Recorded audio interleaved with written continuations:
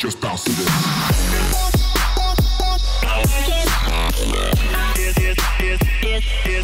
Hey, how's it going everyone? My name is Brandon Clements and welcome back to another tutorial here on Glass Hand. Today what we're going to do is pretty special because uh, one of my good friends, Evan, he uh, allowed me to help him with a client project. They were shooting a uh, film about a new brewing company that's coming up in Austin. It's called Lazarus. And they were so kind to let us go ahead and shoot a tutorial on how I was able to help them with a beauty shot for this mug. It's a product that people will be getting if you're a patron of this brewery. So um, without further ado, let's just go ahead and check out the shot and jump into Cinema 4D. Okay, so I have the project up that I actually finished. And this is what we're going to be looking at. So uh, it's a camera solve, and we're able to kind of get this dolly back um, and reconstruct a glass on um, on the footage. And we actually have a book. You know, everything's tracked pretty well. Let's go ahead and hide the motion tracker. And you can see that everything is sticking perfectly. What I was able to do with the glass is add this gold leaf and the logo that wasn't there before. So if I hide the glass and the book, um, this is the actual footage and this is what the product was going to look like. So it's got this gold leaf rim and it has a logo on it. So this wasn't ready for the time of shooting, so we were able to go in and add that um, in Cinema 4D. Okay, so let's go ahead and see how we can do this. So let's jump into a new scene. Um, and we're going to go to the motion tracker tools, motion tracker. We're going to drop that into our object manager and we're going to come down to the footage tab and we're going to add in our PNG sequence. Okay, we're to make sure that we have the resampling all the way to 100. We want all those pixels in there. And let's see, our let's make sure our actual project, if we hit Control D, is set to 24 frames a second. And it looks like everything here is good. Okay, so with our project at 24 frames a second, we'll be able to replay that back correctly. And uh, the lens profile, this is really important, um, especially depending on the lens and the type of camera you're shooting for a VFX shot. So um, it goes without saying, a great motion tracked um, a great camera solve is going to be the basis of a great VFX shot. Okay, so it's going to be the foundation. If the camera solve is off, then it's going to make the shot look horrible. So the one thing that we can do to alleviate some problems is to um, shoot a lens distortion grid. And in Cinema 4D, we can go to Tools, Lens Distortion, and we can actually uh, remove the lens distortion so that the tracker has an easier time knowing where everything is in space. And then we can apply that lens profile uh, to redistort our geometry uh, to make it fit within the scene. So that's kind of like an overview. Um, but for this instance, we didn't have a lens distortion grid, and um, it's okay because there's not a huge amount of distortion. You can see that the frame, um, the this you know the lines on the frame are straight up and down, and there's not a whole lot of distortion. This was shot on a 100 millimeter macro lens, uh, 100 millimeter macro Canon lens um, on a Sony FS7. So there's not a whole lot of distortion here. So we should be able to get a pretty decent track. So let's come over to the 2D tracking tools. I was able to solve this entire shot um, with no problem just by doing an auto track with about 1500 tracking marks and a minimum spacing of 19 and, and I left the default pattern size and the search size um, at these numer uh, numbers here. So I think we should be okay here. Let's go ahead and go to the middle of our scene um, and we're going to use this auto track back and forwards. Okay, so let's see what we get. Okay, so um, this is what it looks like after it's done computing. Let me talk a little bit about what these numbers are. The number of tracks, of course, is going to be the quantity of tracking markers on your footage. The minimum spacing is going to be how far away these are from each other. You can see some of these are really, really close. Okay, so this is a pixel count. And um, if you want to spread this out, you would, of course, increase this number and they would get further away from each other. Um, the thing is, for me, the book is such a viable tool to be used here. I mean, to be tracked.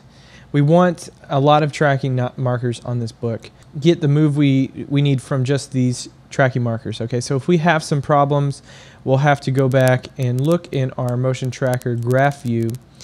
And I have it up on my other display. And we'll be able to see everything in our in our scene. We'll be able to read that data Um, right now, what we're looking at is the accuracy from a top-down perspective view. Okay, um, I shouldn't say perspective view, but it's a top-down view of all the tracks in the scene. And the red tracking markers, I'm just using uh, Alt right click up and down, left and right to get closer to these, um, just like any other graph view in Cinema 4D. These red um, portions are error. Um, it's like the confidence in the track is very low, and the green is the exact opposite. The confidence in the track is very high. Okay, um, so we can look at the actual graph view, and what this graph view is showing is the um, the error threshold on the y and the time, of course, on the x as we scrub through it left and right. Okay, so um, obviously when the error threshold or these different graphs are higher, we can click on one to see how it looks. If it gets um, away from this, of course, uh, perfect solve. Sometimes we do have some that are very, very good. It looks like this guy. Um, you can see that this is an extremely solid track all the way through. Okay. So let's go ahead and move forward in um, completing this shot. I think we can go ahead and um, we'll use our error threshold tool. So I'll, I'll check that. And our graph view, we get this little red dot and we can drag this up and down. And what we want to be able to set this to is um, something minimal to clip off all the excess data. Okay, so right now I have it set to, you know, if, if I move this over, let me just try to illustrate it. You can see that these guys correspond to each other in different ways. Um, I'm going to set it to something kind of low. Um, I'm going to set it to something like 3. I want to be able to just have really strong data in my scene. Um, since this is like a macro type shot, I don't want things bouncing around. And we may have to go through and manually delete some of these in the background. I'm not sure, but I'm just kind of thinking out loud as we go through. So let's set this to known and constant. We know the focal length and the sensor size. The focal length, like I said, was 100 millimeters.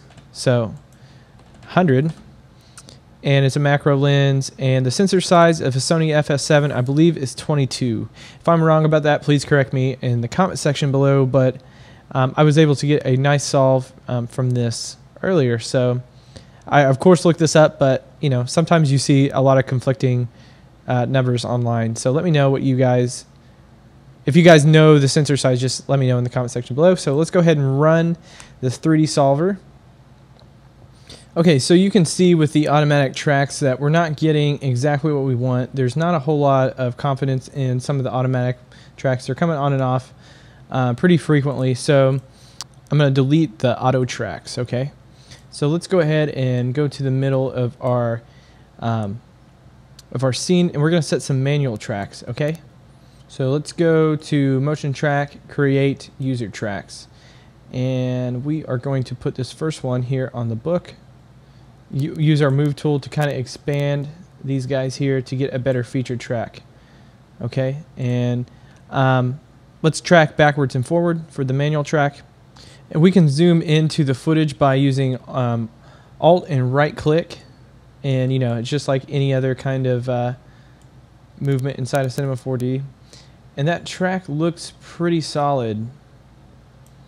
If we open up the motion tracker graph view, we can see um, that it never really gets above, it looks like um, 8% or so. Okay, so that one looks pretty good. Let's go ahead and move on. Let's use this back corner of the book. We'll say create user track, and we'll try to get it into the middle of this edge here on the book. And we'll switch to our move tool, and again, increase the feature size and the search area. Okay. And we'll go back to our motion track and say um, track forward. And this is the result of the track that we get. Um, as it goes on in time, you can see it kind of um, gets less sure of itself. So let's see how that looks if we zoom in. It doesn't look too bad. I think it's something that we can use going forward. So let's create another track.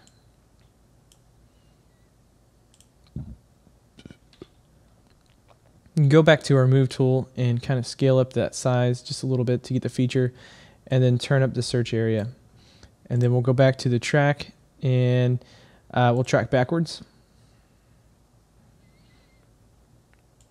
And we are finished with that. So that one looks really good. Let's move on. We'll create another user track here at this corner of the book. Switch to our move tool and turn the feature size kind of small and then let's make our search size large and then we'll track forward. And again, that is done. Uh, the the track, the 2D track in Cinema 4D is just, it's super fast. Okay, so there's some other features on this book that I'd like to, to do this, this portion here. Let's go ahead and create another user track. And let's make the feature small and the search area nice and large. And then we'll do both uh, forward and back. It looks like that has finished. And you can see here the track goes away, and that's okay. Um, we still get some good information here on the back end. We're going to do another track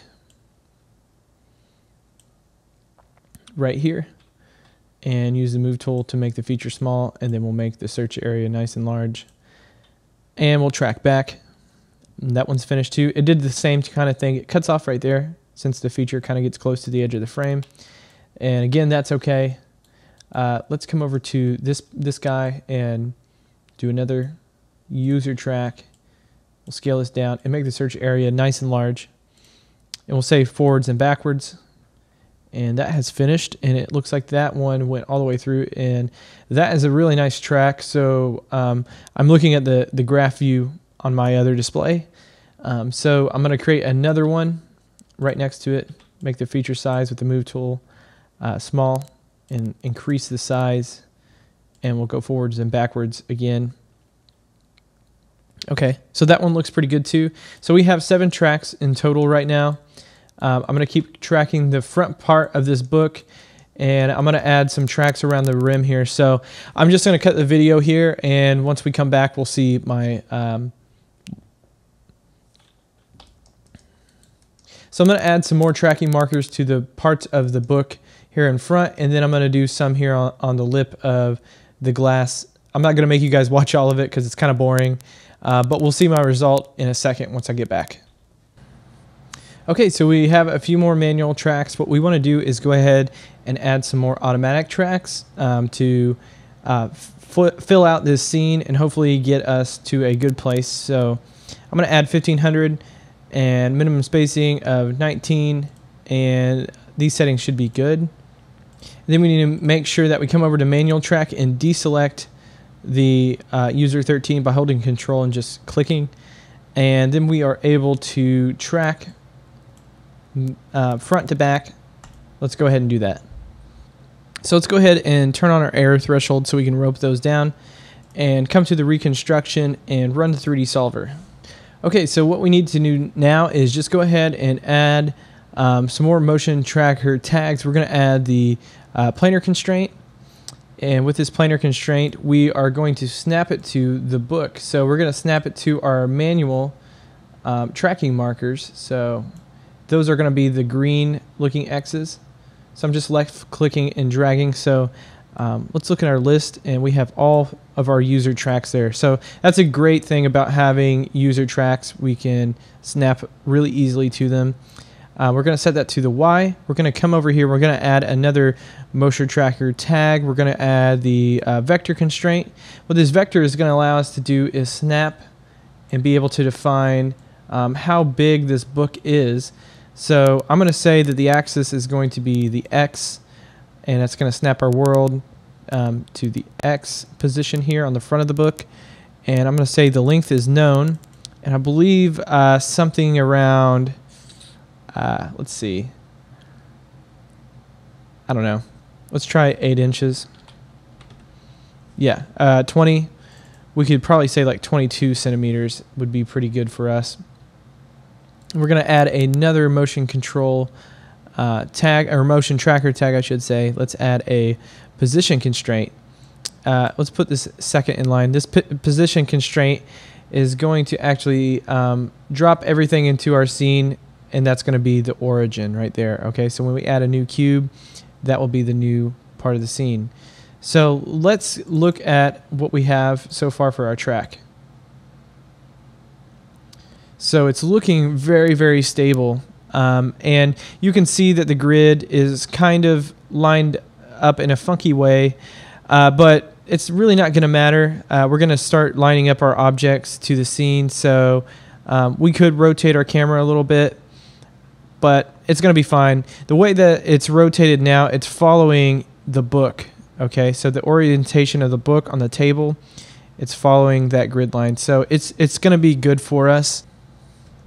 Okay, so that should do it. I just want to give a huge thank you to um, Evan and the team, the crew, uh, Lazarus Brewing, everyone involved with this production. It's an awesome little short. I'm going to put it in the description so you guys can check it out.